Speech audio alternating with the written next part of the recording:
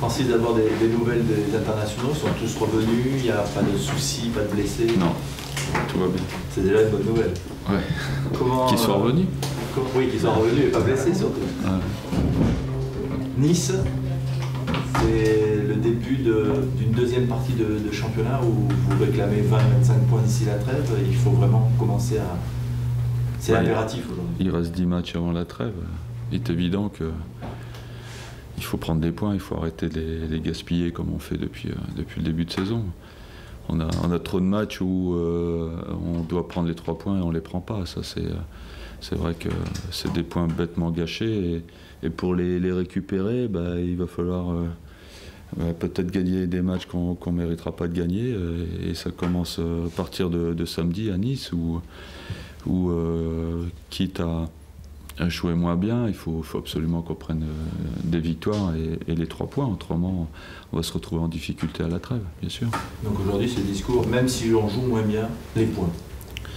Mais bon, c'est pas cohérent ce que je dis, parce que si on joue moins bien, euh, euh, on a moins de chances de gagner. Voilà. Non, je pense qu'il faut rectifier certaines choses euh, dans les deux surfaces.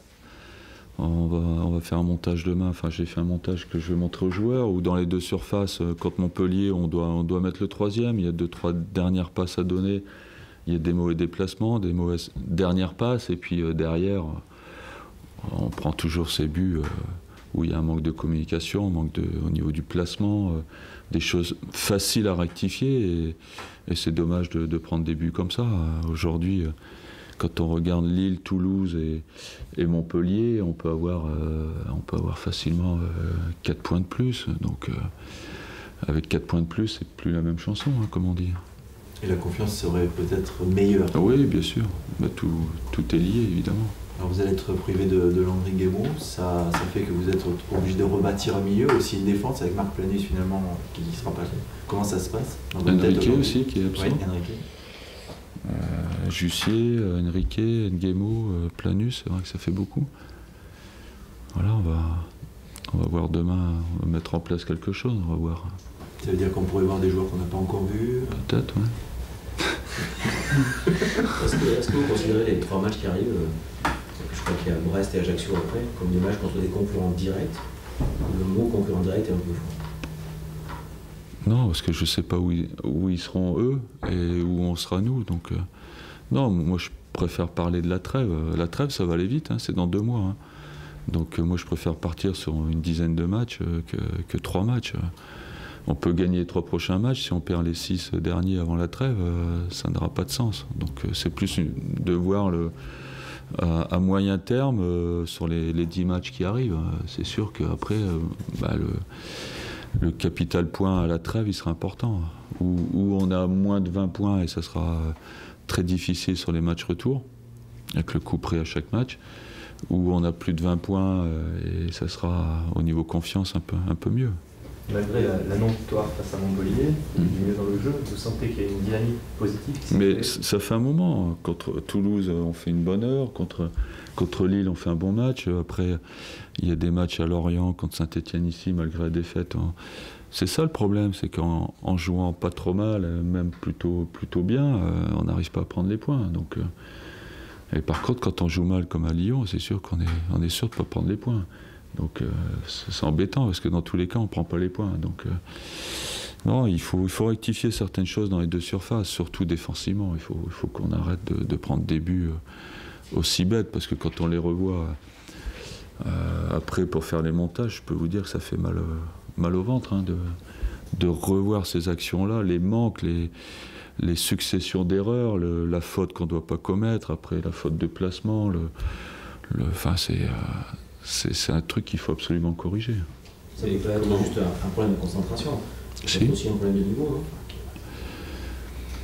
non Je sais pas, je suis pas convaincu. Manque de communication, ça c'est sûr, parce que sur une phase arrêtée, euh, euh, personne euh, chez l'adversaire ne doit être seul. Or, ça a été le cas. Euh, des mauvais placements, quand il y a des mauvais placements et quand il y a des, adversaires seuls, c'est qu'il n'y a, pas de communication. Donc ça déjà, il faut le rectifier.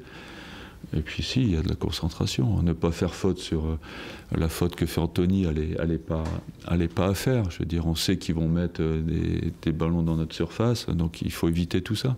Ça, c'est un manque de concentration. En plus, je suis au bord du banc, je lui dis de ne pas la faire, la faute.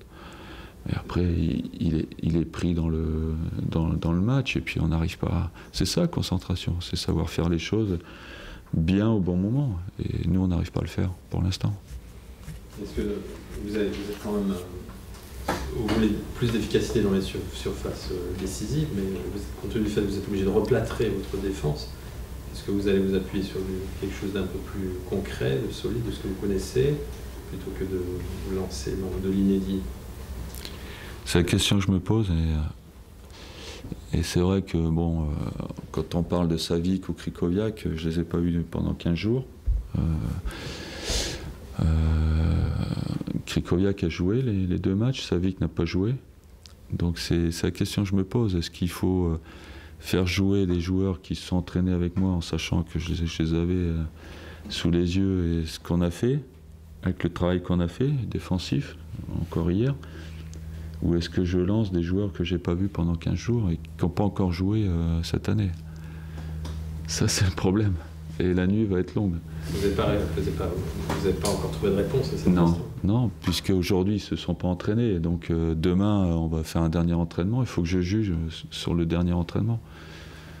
Donc euh, c'est assez limité euh, au niveau pour, pour, mon jugement en fait. D'autant que c'est un entraînement d'avant-match et que forcément on n'est pas dans un entraînement rythmé. Non, mais c'est le problème. Vous avez mis le le, point sur le, problème d'aujourd'hui. Est-ce que la question elle pose sur le fait qu'il faut que vous ayez d'abord une, défense solide ou une, comment, bah, dans les deux cas, dans les deux cas, si je fais jouer les, jeunes, il faut qu'ils soient solides. Hein. Donc euh, c'est pas ça. Est-ce que je fais jouer des joueurs qui, euh, qui se sont entraînés pendant 15 jours avec moi, que j'ai eu sous les yeux, ou est-ce que je fais confiance à des joueurs qui sont partis en sélection euh, dont un a fait les deux matchs et, l'autre zéro? Voilà, voilà le, la problématique pour, pour demain. Est-ce que le fait de, euh, d'avoir un joueur à son poste ou de déplacer un joueur, euh, par exemple, pour que du milieu défensif, ça, compte pour vous C'est-à-dire, concrètement C'est-à-dire, Krikoviak, et, c'est son poste. milieu défensif Oui. En sélection, il joue derrière. C'est-à-dire, il a fait deux matchs, il a fait deux matchs en défense centrale. Mais la sélection, c'est euh, de temps il joue, en temps. Il joue toujours, toujours en sélection. Ouais, mais il joue toujours en sélection en défense centrale. Donc euh, c'est encore un autre problème qui s'ajoute. Oui, ça veut dire que oui, c'est un aspect des choses que vous prenez en compte. Ah oui. C'est-à-dire qu'il a moins d'automatisme au milieu aujourd'hui. Voilà. Est-ce que l'expérience Ben Kelfala en amical arrière droit, c'était parce que vous aviez passé de joueur ou c'était pour ça.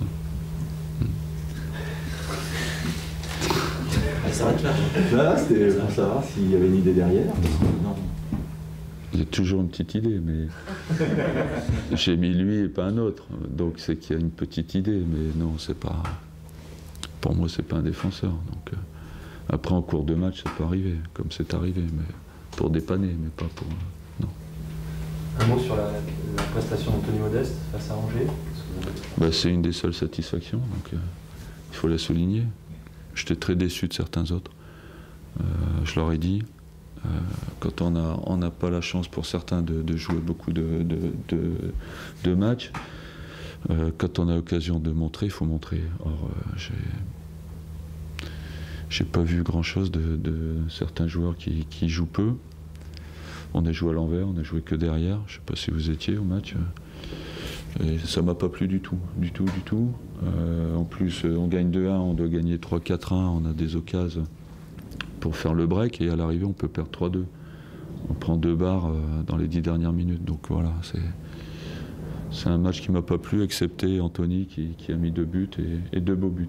Donc, Ça prouve que votre groupe finalement est en train de se réduire de lui-même. Si non, c'était, sur, c'était sur un match après.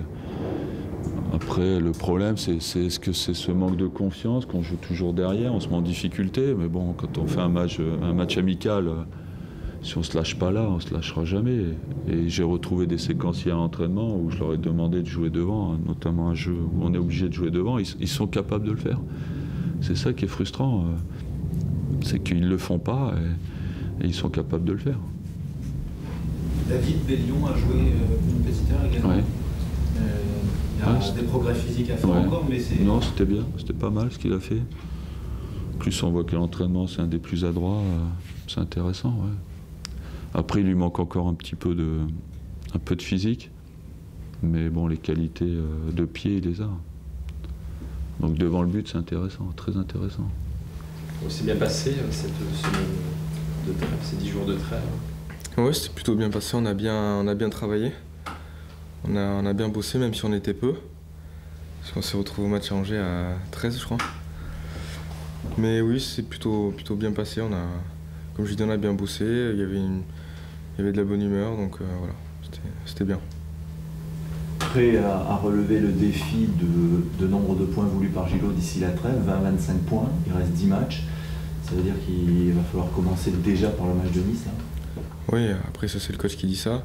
Euh, je pense qu'il faut prendre match après match, faut pas commencer à, compter, on sait qu'on a besoin de points, donc euh, il faut se concentrer au match qui arrive tout simplement pour éviter de, perdre tous les points que vous avez perdus en route aujourd'hui, qu'est-ce que vous devez faire en plus Qu'est-ce que l'équipe doit faire Non, mais comme j'ai dit, c'est euh, encore plus de concentration. Voilà, Aujourd'hui, un match, il, se termine à la 94, 95e minute, non pas à la 90e. Donc voilà, beaucoup plus de concentration et on va être encore plus rigoureux. Et ça va aller. On espère que ça va aller. C'est comme ça que tu expliques que pardon, les Bordeaux prennent autant de buts cette saison Aussi peut-être par le fait qu'il n'y a pas de défense euh, stable tous les matchs Je sais pas, je, pense que qu'il y a eu des erreurs aussi. Je pense qu'il y, euh, y, a eu quelques erreurs et aussi quelques manques de, de concentration. Voilà. Moi, je le perçois comme ça. Qu'est-ce que tu penses quand tu regardes les, buts encaissés à la vidéo En tant que défenseur, ça fait, ça fait pas mal de voir certains buts euh, complètement évitables Bah si, forcément. Donc, si, forcément. Le, match amical contre Angers, ça nous a permis de, vérifier une ou deux choses. Toi, tu as joué euh, milieu offensif, milieu, oui, milieu terrain en tout cas. Oui. Et c'était euh, comment tu as apprécié ce rôle? Bah, C'est vrai que de pouvoir changer, c'est bien aussi, de pouvoir évoluer à notre poste. Euh, et, donc j'ai beaucoup aimé. C'est vrai qu'il faut beaucoup courir à ce poste de milieu de terrain.